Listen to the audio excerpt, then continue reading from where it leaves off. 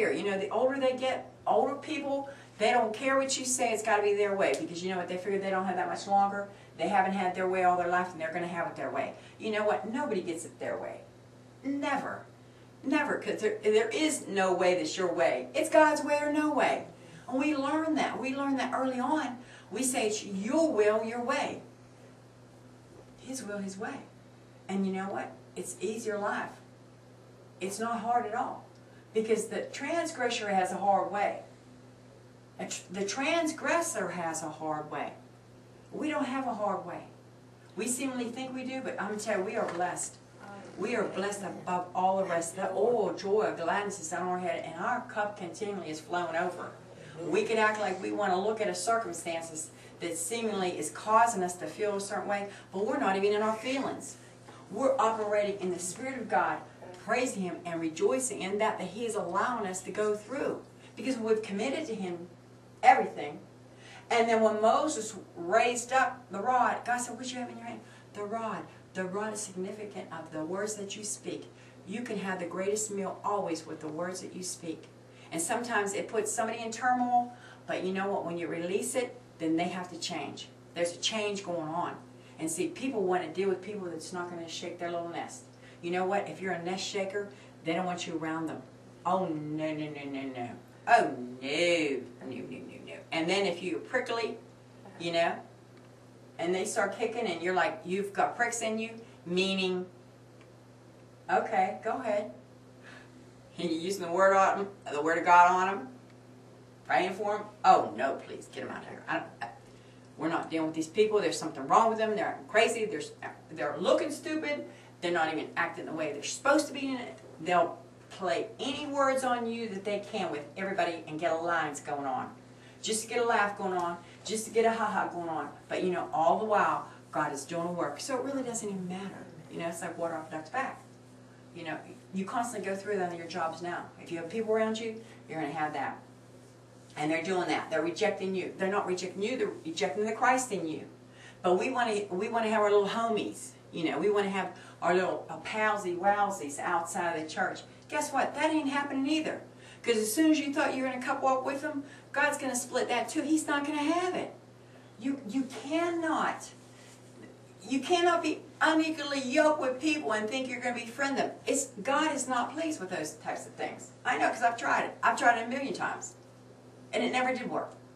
And then, you know, I said, oh, what about that? You know, they're just so open, they're honest, and it seemed like, you know, it could be, no, they're not a friend of mine, so they're not a friend of yours. See, once you have a relationship, that's like uh, Pastor Tony Lett, the married so long, they know what can violate their marriage. You know, you get a little hussy going on, oh, it's not happening. Or you get, you know, some, some bucko that wants to uh, flirt with the, you know, first lady, it ain't happening. They're not, they're not going to let that relationship be turmoiled because they both are in a love relationship and in a covenant relationship with God. So he alerts that. So there's an alert going on. There's alarms going off, you know. Oh no. Oh no. So some of that stuff that you think is jealousy, it's not jealousy. Because God's a jealous God. He's not going to have your relationship with something that's going to work it in a different way than where he's going with it. And although we think that's a good avenue, that's not a good avenue. He will stop it, you know, as you, especially when one of you is continually surrendering, surrendering to God, because where there's two, he's looking at one. It's a one group there. And even with the, the church, he's looking at one church. It's a body of believers, but you know, when you're all connected, he's looking at one body. He's, he's understanding knowing. He's, he's giving the directions to the head. Jesus Christ, the head, the head of, of, of this, he's letting them know what's going on, or not because he's hid some things. He does it, just like he did with Elijah, to make a miracle going on. But there was other issues in that thing too. But God is doing a critical work right now. But he's flowing in the flow that he wants flowed. And I'm so thankful for it because it's a freedom flow. It's a freedom flow.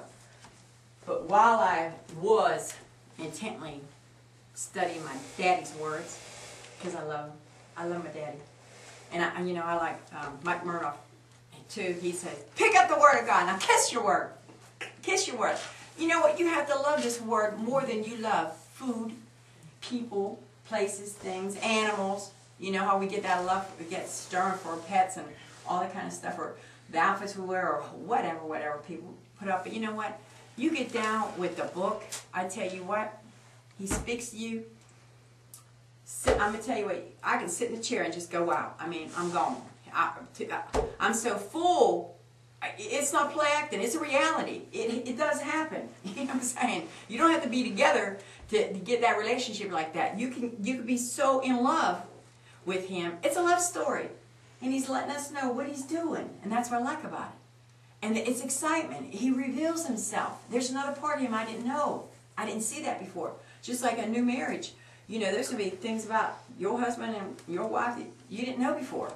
Because usually before you get married, you don't really tell a lot of stuff. And well, a lot of times you don't tell it after you're married either, you know. But sometimes things happen. You find out some things and it, it works and you work through it. As to Annette, they've been working almost 40 years on this thing. I mean, they're, they've, I mean, you talk about stepping in some high cotton. You know what I'm saying? And we touch cotton, boy, there's some pricks in that thing. You know you get that cotton soft, but oh, trying to get to it, Lord Jesus. Sound like Jesse Duplantis, Lord Jesus. Ain't he? He's cute too. But we love all our men and women of God. But First John, the fourth chapter, the seventh verse. Beloved, let us love one another, for love is of God, and everyone that loveth is born of God and knoweth God. There is no way that you can tell me somebody out in the world loves. They have a an emotional system going on where they call it love. They label it love, but that's not real love. God is love. Only in Him is there love. Only will you meet the true love. Only will you fall in love and be, have capabilities of loving other people. Otherwise, there's just no way and you don't really realize that, not down anybody if they haven't met God yet or don't know Him, don't know Him for themselves. But there's such a relationship with God that that love. You say, "I'm so lost, I'm so broken, and I need love." So you keep searching in the wrong places, and we all have. There's no condemnation in that because you know, a seeker search, and if you're not really understanding where to search and seek out, you go to the wrong places, and you can count the enemy usually leads you there because you're going in your natural self and you're prone to places that are not con, you know conducive to love. But when God sends somebody to you in love, and then you fall in love with them, you you fall in love with people. And sometimes you know you get agitated and aggravated with them more so when you love them, even the more. And it's funny about that. You know, couples they can get aggravated with each other because they love each other so much they want them to be a certain way. You'll never change anybody. Absolutely, you know. Only God changes people, and we know that. And you know what? It seems like it's an elongated time. But see, what he does, he uses both uh, two people. Iron sharpening iron. The friction causes you to call out on the name of Jesus. Get desperate in this thing. I can't live like this anymore. And I've spoken this thing over and over, like Hannah and Peninnah. Hannah was so desperate. Peninnah had it. And then Peninnah had the audacity to rail on her because she didn't have children. Okay. But God was waiting because Hannah said, if you just give me that son, I will give him back to you. And he was. He was a prophet. You know what I'm saying? So a lot of times God is using that circumstance in that situation for Christ to be birthed, Jesus to be birthed in you. And at the right time, those things that you desired will come to pass. But again, it's giving it back to God in the fullness. You know, you, you can't think that you're going to serve God and still hold a little bit back. See, there's like one